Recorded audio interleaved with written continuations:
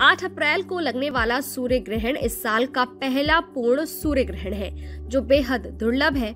8 अप्रैल को होने जा रही ये एक ऐसी खगोलीय घटना है, जो इसके बाद दोबारा आपको जल्दी देखने को नहीं मिलेगी। यानी 8 अप्रैल को अगर आप इस पूर्ण सूर्य ग्रहण का नज़ारा देखने से चूक जाते हैं तो इसको दोबारा देखने के लिए आपको कम से कम अगले 20 सालों तक का इंतज़ार करना होगा। इस खास खगोलीय घटना को देखने के लिए वैज्ञानिक खगोल शास्त्रियों के अलावा अंतरिक्ष में दिलचस्पी लेने वाले लोगों में काफ़ी उत्सुकता है।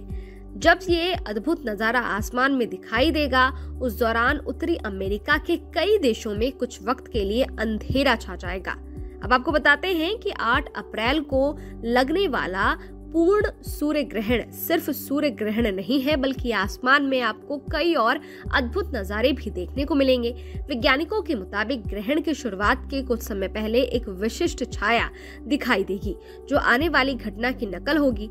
इसकी शुरुआत पश्चिम, दक्षिण, पश्चिम आकाश से होगी। ग्रहण से जैसे ही अंधेरा छाएगा, दिन में ही आसमान में तारे ग्रह तो दिखाई ही देंगे।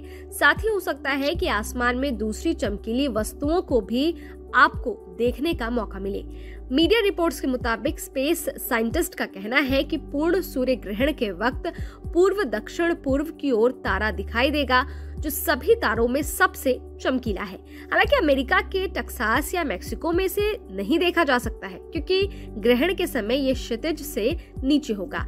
स्पेस साइंटिस्ट के मुताबिक पूर्ण सूर्य ग्रहण के दौरान आकाश में चांदनी रात जितना अंधेरा नहीं दिखता है, बल्कि अंधेरा उतना ही होता है जितना सूर्योदय के करीब 20 से 40 मिनट पहले या सूर्यास्त के 20 से 40 मिनट के बाद होता है। ऐसे में आसमान में शुक्र आमतौर पर बहुत साफ़ दिखाई नहीं देता है। इसके अलावा सूर्य के नज़दीक दूसरे चमकीले तारे भी दिखाई देते हैं। स्पेस साइंटिस्ट के मुताबिक ग्रहण के समय शुक्र सबसे चमकीला दिखाई देगा और शुक्र सूर्य से लगभग 15 डिग्री पश्चिम, यानी नीचे दाएँ पर होगा। आसान भाषा में कहें तो आपके हाथ की लंबाई पर पकड़ी गई आपकी बंद मुट्ठी का माप करीब 10 डिग्री है। इसलिए शुक्र, सूर्य से करीब डेढ़ मुट्ठी की दूरी पर स्थित होगा। आसमान में दिखाई देने वाला सिर्फ़ यही एक अद्भुत नज़ारा नहीं है, बल्कि शुक्र के बाद दूसरा सबसे चमकीला ग्रह बृहस्पति भी पूर्ण सूर्य ग्रहण के दौरान नज़र आएगा। ये सूर्य से लगभग 30 डिग्री पूर्व, यानी बाई और ऊपर स्थित होगा। इसके आसपास दूसरे ग्रह भी होंगे, लेकिन ये कहना मुश्किल है कि ये आसानी से दिखाई देंगे। बात करें शनि और मंगल की तो शनि और मंगल सिलसिलेवार सूर्य से 3536 डिग्री पश्चिम में होंगे। छोटा ग्रह बुध सूर्य से 6 डिग्री पूर्व में होगा, लेकिन बहुत कम तीव्रता होने की वजह से लोग इसे नहीं देख पाएँगे।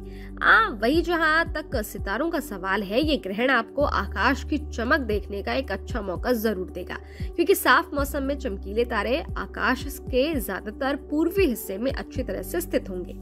वही स्पेस साइंटिस्ट का कहना है कि पूर्ण सूर्य ग्रहण का ये नज़ारा बहुत कम देखने को मिलता है और अगर मिलता भी है तो पूरे ग्रहण में चंद्रमा की छाया के ऊपर की ओर एक धुंधला नीला रंग दिखाई देगा, जिसकी वजह से सूर्य के बाहरी किनारे चाँद की छाया से नहीं ढक पाएँगे।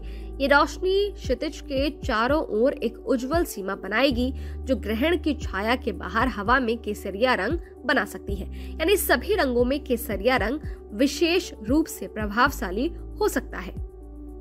ऐसे में छाया के बाहर से प्रकाश पीला या लाल हो सकता है। हालाँकि ये रंग छाया के किनारे से उसे देखने वाले शख्स की दूरी पर डिपेंड करता है।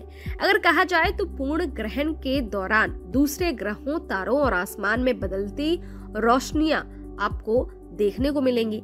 अगर आप भी स्पेस के रहस्यों में इंटरेस्ट रखते हैं तो आपको स्वयं इसे देखना होगा। और कहीं गलती से आप इस बार चूक गए तो फिर आपको दोबारा ऐसा नज़ारा देखने के लिए 20 सालों तक का इंतज़ार करना होगा।